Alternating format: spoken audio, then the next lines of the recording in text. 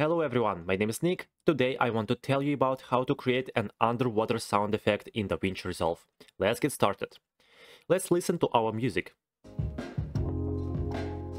Firstly, we need to add the music or sound for which we will do the effect on the track, for example audio track 1. When we go to Fairlight, just click on this button.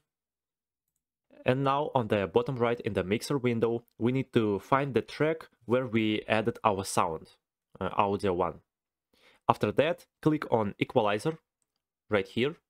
Click. Okay.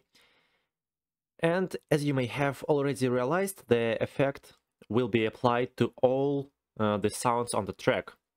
Now we need to take 0.5 and pull it down. Uh-huh. And 0.2 can be raised a little higher or left unchanged. You need to listen and select individually. Now let's hear the result. That's all for today. If this video was helpful, please don't forget to subscribe to my channel and like this video. Thank you for watching, have a great day.